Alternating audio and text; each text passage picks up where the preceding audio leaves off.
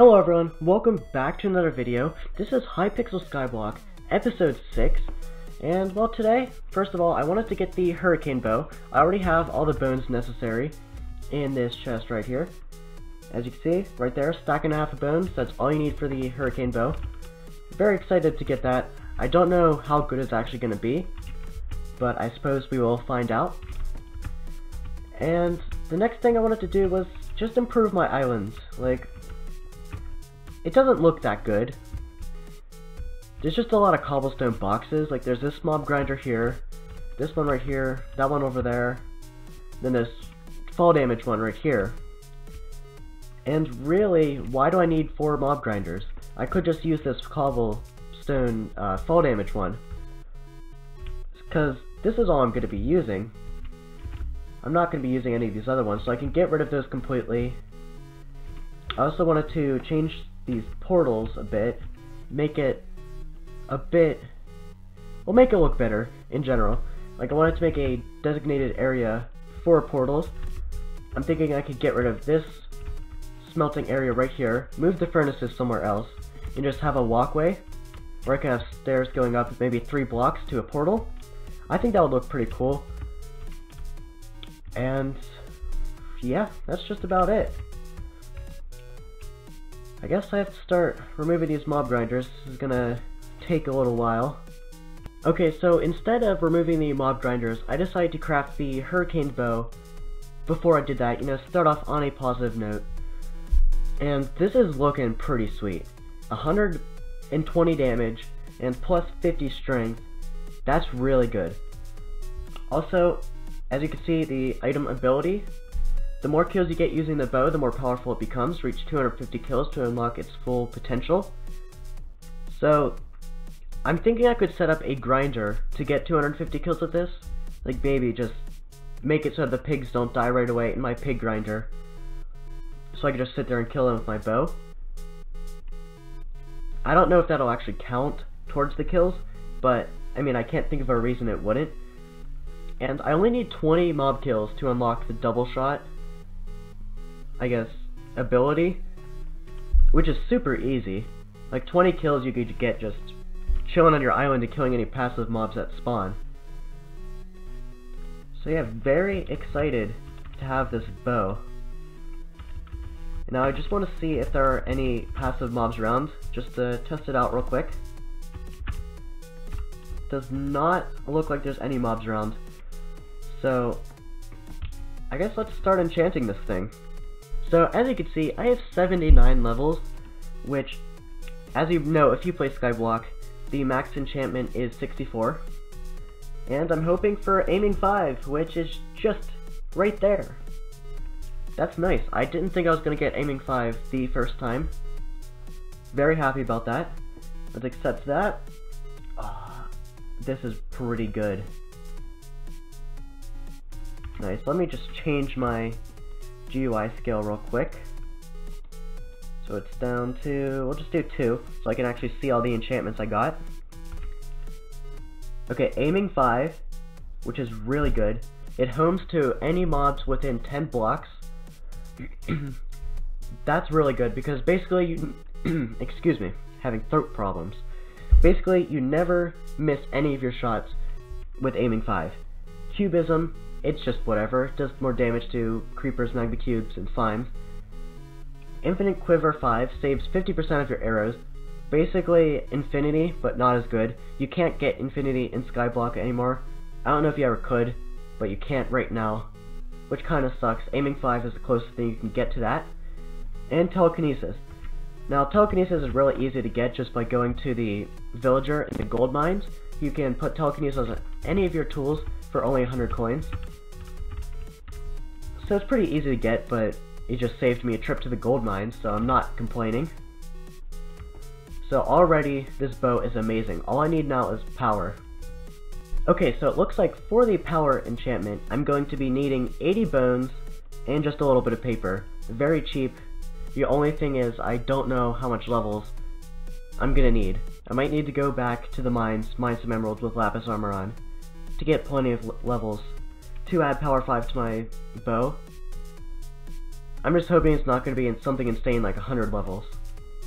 I've just made both Power 5 books, or Power 4 rather, and I want to see how much it costs to combine them together. Okay, only 6 levels.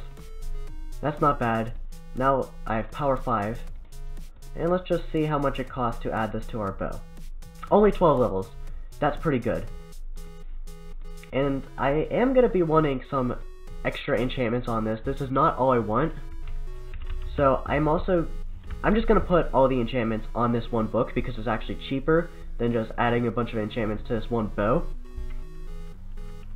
So what I basically did was went to my recipes, went to enchantment books, and just went through all these to see what enchantments I would want. So critical 4 is something that I definitely want on my bow. Can I even get that on my bow? Yeah, it just increases crit chance, and bows have crit chance as well, so I can definitely do that. Uh, Lifesteal, probably not going to do that. Yeah, I'm not going to do that. That's not too good. Oh, that's what I want. Um, Giant Slayer. I have no idea how to craft that, so I'm going to have to look up the recipe for it. But other than that, I think all I need is Giant Slayer and Critical 4. Actually, you can get Critical 5, can't you? How many diamonds do I have? If I have enough enchantment diamonds, then I can get it. Okay, so that's 10 enchanted diamonds. I believe I needed 9 or 8. So, I think I'll just settle with critical 4. Maybe critical 5 if I can, if I can get enough enchanted diamonds from these. I think I am going to have enough for critical 5. So, I guess we'll just find out. Okay, so I have good news and bad news. The good news is I have plenty of enchanted diamonds to make critical 5. I just need two of these books, and then I am fine. However, the bad news is that Giant Slayer is in the ghast tear collection, which actually it's only 250 ghast tears, so that's not bad, but I don't have any of the ghast tear collection unlocked. I don't even have the ghast minion unlocked. I only killed one ghast ever. So it's gonna be a little bit of a grind to get 250 ghast tears because I don't have a ghast tear minion. But it, I should get it in like an hour of grinding ghast. It shouldn't be that bad. Of course, that's without a grinder. That's just me going to the nether, sitting here with my bow, and shooting them. So I guess it's not gonna be that bad. Let's see how much it cost to add it, add this critical 5 to my god book. That's what I'm gonna be calling this for now. Okay, increases crit damage by 50%. That's pretty good. Alright, here we go. How much is it? 12. Can I do that? I cannot. So I'm definitely gonna need a lot more levels but I'm not that bothered by it. With Lapis Armor and mining emeralds in the Emerald Mine, you can get 30 levels in like a minute. It's not bad at all. So I guess I'll see you once I get 30 levels. I also need more arrows, so I'm just gonna buy a lot of them. Yeah, I'll just fill up my inventory. That should be fine. Okay, so I just got 36 levels from the emerald mines. I didn't actually mine any emeralds, I just sat there and killed a bunch of slimes. I also got quadruple shot on my bow, so as you can see, four arrows. Pretty cool. Uh, I only need a few more kills to get penta shot, which is five. So I do kind of want to see how much it takes to combine these books together. Oh yeah, it was 12. I'm pretty sure, did I? I don't remember if I found that out in the last clip, but let's do it. Okay, so we got a pretty good book. Now all I need is Giant Slayer. I might see how much they go for on the auction. Like, I don't know what they actually cost to make. So what, was it the Ghast tear collection? Yes. Only 8 ghast tears, so it should go for like almost nothing on the auction house. Which is good. Okay, so this right here is exactly what I'm looking for. Very cheap, as you can see, top bid 661 coins, Giant Killer 5, and there's only three bids. So I'm thinking they're bidding pretty low. I do want to guarantee that I get this. So maybe I just throw a 5,000 coin bid in there. Maybe to scare him away a little bit. But I'd be willing to go up to maybe 20,000 for this. Because I really don't want to grind. Okay. This kid's gonna go for it. How much do you think he'll go? Because I will straight up just bid like 20,000 right now. I'll go for 15,000 right now. Because what else do I have better to spend my money on?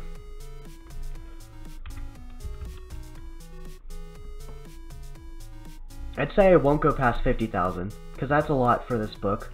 It's only 250 ghast tears needed to unlock it. I'm just saying, this guy that created this auction is really getting a good deal. It only costed him 8 ghast tears and a little bit of paper, and he's getting, like, over 20,000 for it. Should throw in a 25,000. It doesn't look like this guy's gonna give up. So, I don't know. I'm gonna say won't go past this. If he bids again, yeah. I'll let him have it. If he wants it that bad, if he's willing to pay like 30,000 for it, he gets it. Okay, so it turns out it's actually a lot more difficult to get ghast tears from just shooting gas in another than I thought it was going to be. I only got like 6 ghast tears, I've been there for about 30 minutes, yeah, that's not a very good rate of getting ghast tears. So I think for now I'm just going to focus on cleaning up my island a bit and making it look better. So I guess the first thing I'm going to do is just clear out that mob spawner, this mob spawner, and that one over there. That one in the sky is going to stay for now because that's the one I'm currently using. So yeah, I guess I have a lot of work to do. So I just destroyed the first mob spawner, and it was right over there, if you remember correctly. And it already looks a lot better, and I can see, or at least imagine, what it's going to look like with the portals, if it works out that way. I really hope it does work out well, because, well, if I'm imagining correctly, it's going to look pretty good. Okay, this is the second mob spawner down, and I'm thinking I'm just going to extend this sugarcane farm out to here. So basically, the sugarcane farm is going to take over where that mob spawner used to be. I don't know if that's going to look good, but I really can't think of anything else to do with this area here. There's also a little bit of dirt down here that I still have to fix, so I'm just going to basically fill in this entire area with a bit of dirt, and it should look fine. So I'm just going to leave this area open for ideas until I can think of something. If you have any ideas of what to do with this little area here, let me know down in the comments below. Now I just have to deal with this one right here, which actually has lava in it, which is uh, to be a little annoying to get rid of, but should be fine. Also, I have haste 3, so it makes it really easy to destroy these things. Look, look at this, I'm just destroying all of this.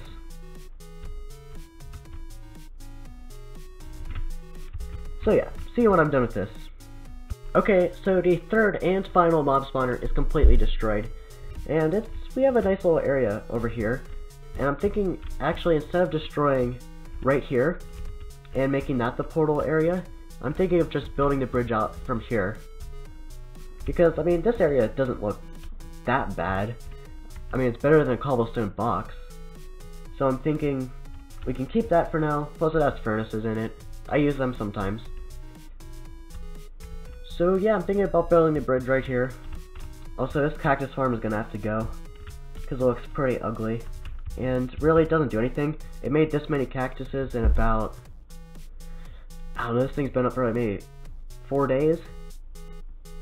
It's not very effective. It only has 9 cactuses in it, so it's not very surprising. It's been useful, but it has to go. Now I think about it, I could make a really huge cactus farm. I'm thinking maybe up here, like right in this area here. Just a really tall, pretty wide one.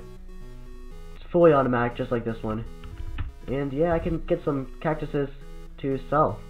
I don't know how much they sell for, but I'm pretty sure it's not a low amount. Plus, if it's automatic, I can just go AFK and it'll create a bunch of money for me. So yeah, quite nice.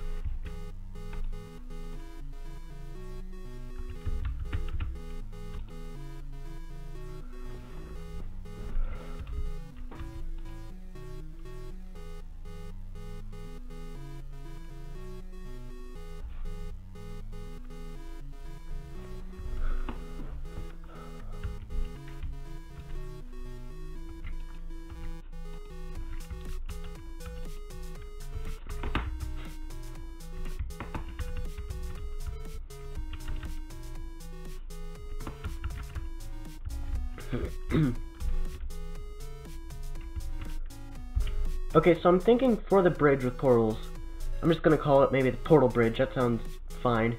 So for the portal bridge, I'm thinking maybe netherrack and sandstone. Or maybe stone brick and sandstone. I think that'll look better. Yeah, stone brick and sandstone for the portal bridge will be quite nice, I believe.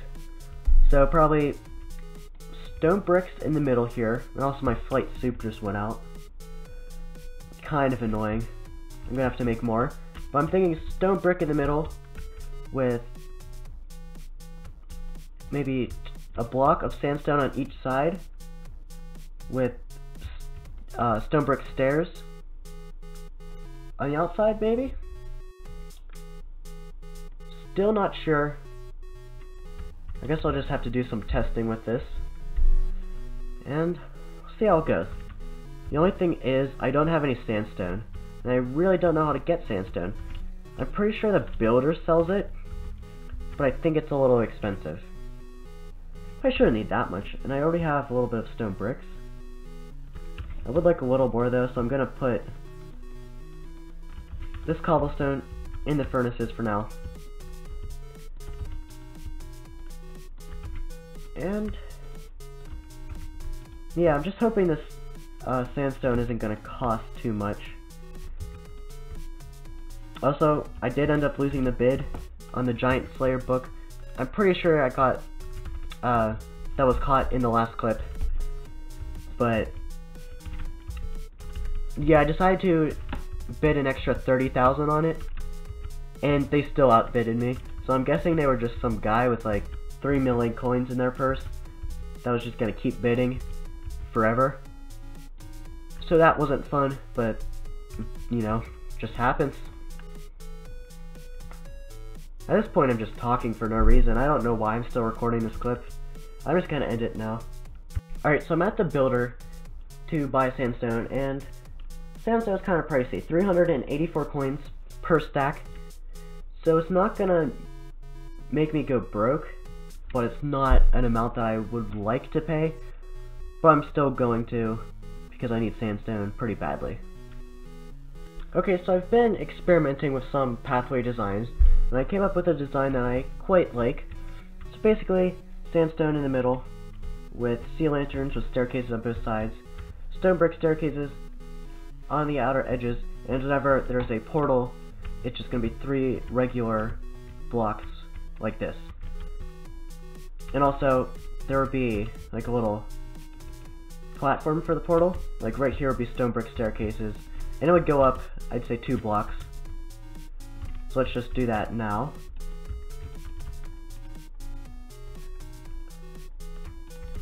So it would go up, it would go up two blocks just like that. And then right up here would be a platform where the portal sits on. So I think this will look quite good actually with the staircases on it. That's why I chose this design. And for now, I think I'm going to stick with it. Actually, just before I do choose the design, I think I'm going to move the hub portal on this platform just to see how it looks. Because I want to see it with a portal actually on there. Okay, so I have a portal to the hub right here in my hand. And I want to just place it down to see how it looks. Okay, it's looking kind of tall, not gonna lie. But I'm thinking maybe if I expand the platform out a little bit, just like, uh, this is why I need plate soup.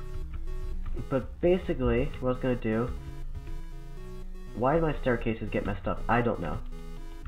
But if I just kind of place some stone bricks here, make the platform a little larger, this could be okay.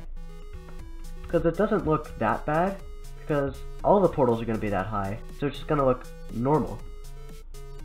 But one thing I might want to change is that it only goes one, one block up with the staircase. Not too sure about that at the moment. But there's always this glitch with the staircases. Like the staircases never placed properly, they always disappear. And it's really annoying, I hate it. It does it with slabs and stuff like that as well. Then you have to go back and replace them. It basically, it's just a scam. Alright, there we go. Oh, no, I'm glitched out. Uh-oh. Can I grappling hook out? Yes, I fixed myself. Alright. So this is what it's going to look like. I'm still trying to decide if I like it or not. I think it's quite good. Keep in mind, I could also edit the portal frames.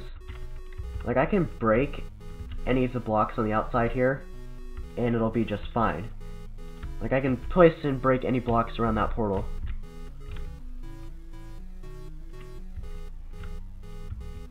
So maybe I'm thinking if I just remove from that cobblestone block an up, just to make it a little shorter.